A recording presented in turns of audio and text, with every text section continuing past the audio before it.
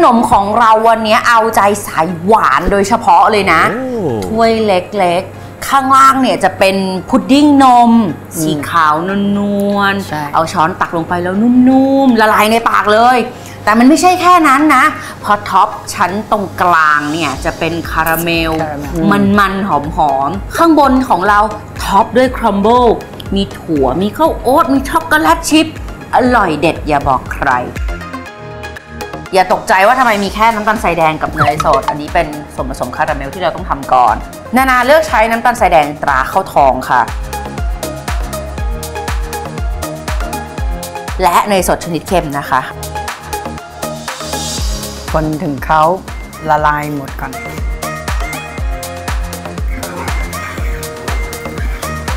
น่าจะน้ำตาลละลายหมดแล้ว โอเค ปล่อยเขาก่อนไม่ต้องคน เราสองคนเลือกใช้ครีมเทียมข้นหวานตรานกเหยี่ยว Falcon ค่ะ แน่นอนทำให้คาราเมลของเราเนี่ยนะคะ หวานมัน ขั้นตอนนี้ต้องระวังเพราะใส่เสร็จแล้วเนี่ยบางครั้งเนี่ยส่วนผสมจะฟูขึ้นมา อย่าตกใจที่น้ำตาลทรายแดงของเราตอนแรกที่ใส่ลงไปเนี่ยยังไม่เข้ากับส่วนผสมของครีมเทียมข้นหวาน เพราะว่าอุณหภูมิที่ใส่ลงไปมันแตกต่างกันมากค่ะ ตัวน้ำตาลทรายแดงของเราก็เลยเกาะกันเป็นก้อนๆแบบนี้ ไม่ต้องกังวลคนไปเรื่อยๆ เดี๋ยวพอ ทุกอย่างมันร้อนเท่ากันเนี่ยก็จะละลายง่ายขึ้น ใช่ไหมโอเค พอเขาเดือดฟูขึ้นมาอีกเหมือนไข่เจียวนะเหมือนไข่เจียวเราก็ใส่นมข้นจืดลงไป โอเค เวลาเราเจียวไข่เจียวเนี่ยนะคะ เราจะเห็นว่าหน้าตาของเขาจะเป็นประมาณนี้แหละค่ะ เนี่ยคือไข่เจียวที่กำลังจะได้ที่จะต้องพลิกด้านแล้ว โอเค เพราะฉะนั้นแทนที่เราจะพลิกด้านไข่เจียวนะคะ เราใส่ส่วนผสมนมข้นจืดลงไป แน่นอนถ้าพูดถึงนมข้นจืดเนี่ยนานาเลือกใช้นมข้นจืดตรานกเหยี่ยวฟอลคอนค่ะ จะช่วยให้คาราเมลของเราหอมอร่อยยาวนาน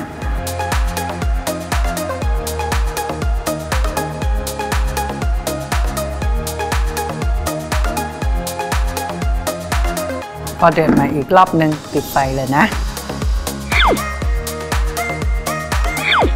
อะโอเคเขาเดือดค่ะขึ้นมาแบบนี้แล้วตอนนี้จะไม่เป็นไข่เจียวแล้วล่ะเพราะว่าเขาเหลวขึ้น แต่ว่าเราจะเห็นว่าส่วนผสมของคาราเมลฟูขึ้นมา อย่างนี้คือถือว่าใช้ได้แล้วเนาะใช้ได้เลย เพราะสมมติเรากวนต่อก็จะเหนียวเหมือนกะละแมอ๋อค่ะโอเค อย่างนี้ใช้ได้แล้วเดือดตรงกลางปุ๊บปุ๊บปุ๊บแบบนี้ปิดไฟค่ะค่ะตั้งทิ้งไว้จนเย็นสนิทแล้วนำมาใช้ค่ะ ระหว่างที่เรารอตัวคาราเมลของเราเย็น เราจะมาทำส่วนผสมข้างบนก่อนใช่ เราเลือกใช้ Tulip dark chocolate chip ชนิดเม็ดกลางใส่ลงไปก่อน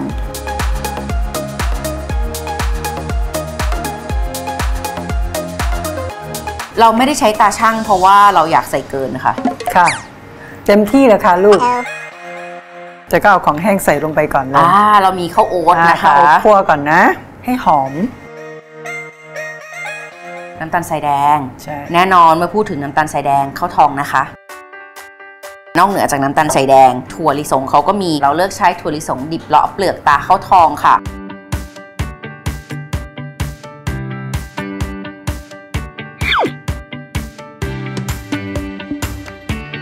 สุดท้าย เนยสดชนิดเค็ม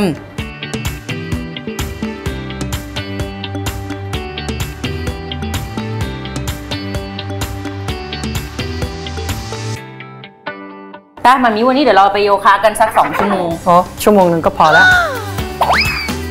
เดี๋ยวนะทำท่าไหนเหรอโยคะ อ๋อ ก็ง่ายๆอะอาสนะอืมอาสนะ นอนเฉยโอเค เทลงมาๆแค่นี้เลยเหรอ ค่ะ ยัง เดี๋ยวมาเราต้องเข้าเตาอไม่บเห็นต้องดุดันเลยเนาะ ไม่ได้ดุเลย ตกใจเลยเวลาขึ้นเสียงอะรับไม่ได้ ให้เขาหอม เนาะ ใส่น้ำหอมสิ ก็หอมได้ จ้ะ ไปเลยฉีดเลย อบประมาณไฟ 165 ประมาณ 15 นาที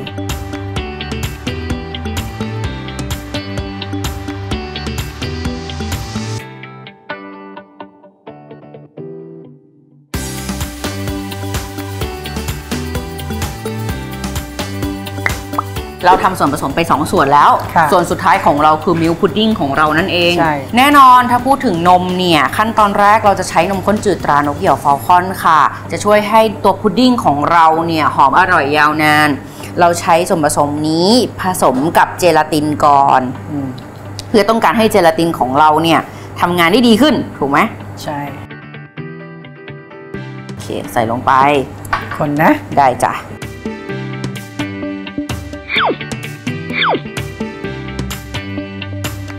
ดดิ้งของเราเนี่ยนะคะ อีกหนึ่งส่วนผสมเราใช้ผลิตภัณฑ์นม UHT สำหรับตีฟองตรา Falcon Professional ค่ะ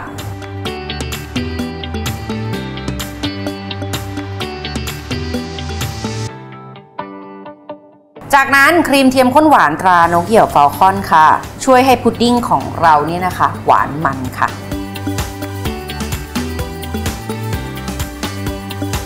คนส่วนผสมนมเข้าด้วยกันก่อน เติมแป้งข้าวโพดค่ะ แป้งข้าวโพดต้องใส่ตอนส่วนผสมยังไม่ร้อนนะ ไม่เช่นนั้นแล้ว ส่วนผสมของเราจะเป็นลูกๆลำบากมากในการคนจะกลิ่นวานิลาชนิดน้ำเนยสดชนิดเค็มค่ะลงไปพอเดือดใช่ไหม ใส่เจลาติน ใส่ช็อกโกขาว ส่วนผสมเดือดแล้วแบบนี้นะคะ ปุดปุดปุดปุดปิดไฟ ใส่เจลาติน เติมเจลาตินลงไป จากนั้นใส่ Tulip white chocolate compound ลงไปค่ะ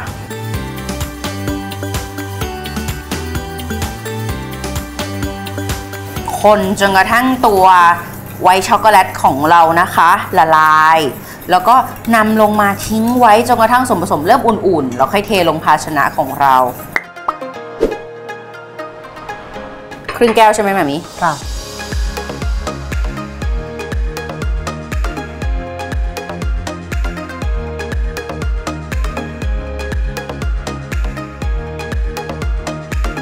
ทิ้งส่วนผสมเอาไว้ให้ส่วนผสมข้างหน้าเขาเริ่มตึงๆนะค่ะ10 นาทีก็น่าจะใช้ได้ โอ้โหเดี๋ยวสกปรกแล้วกัน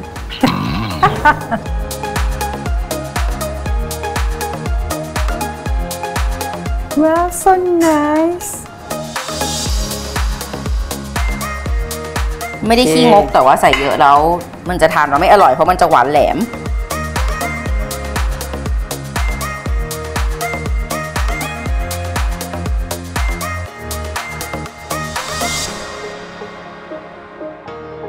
ข้างล่างเป็นพุดดิ้งนม ชั้นต่อไปเป็นคาราเมลซอสแล้ว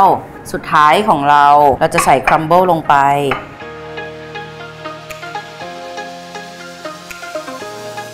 ไม่มีอะไรตายตัวค่ะ ชอบมากใส่มากชอบน้อยใส่น้อย ถูกต้อง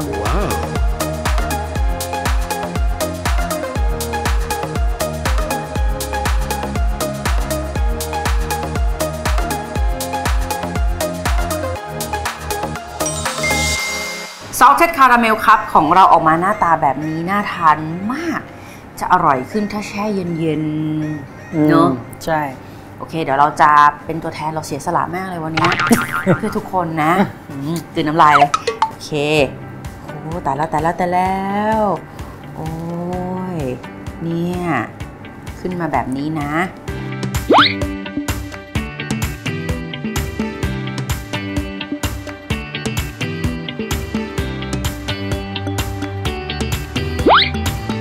มันอาจจะมีสารเสพติดบางอย่าง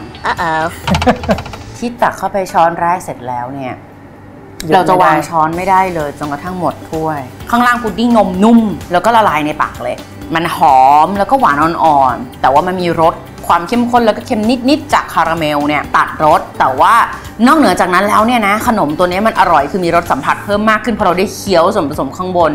ลองทำทานกันดูเป็นอีกหนึ่งขนมที่เหมาะมากกับงานปาร์ตี้ค่ะ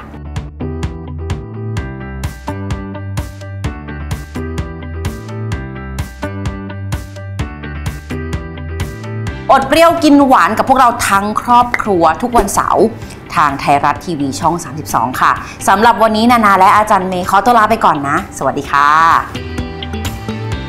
ใครมาที่เนี่ยนอกจากจะอิ่มอร่อยแล้วเนี่ยเขาก็มาถ่ายภาพกันด้วย อุ้ยฝรั่งปนไทยรับประทานเสร็จแล้วมันก็ติดใจนะคุณเค้กเป็นฟอน แต่งครีม แต่งให้สวยงามสำหรับตรุ๊จีน ความโชคดี เฮงเฮง